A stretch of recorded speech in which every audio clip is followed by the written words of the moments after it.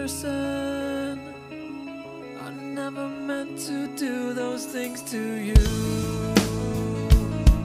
And so I have to say